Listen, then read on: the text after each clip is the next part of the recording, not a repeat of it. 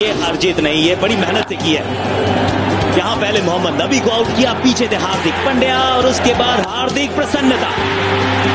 आफ्ताब आलम। और मुजीब को इस गेंद पर आउट किया तो मुरीद हो गए हम आपके मोहम्मद शमी।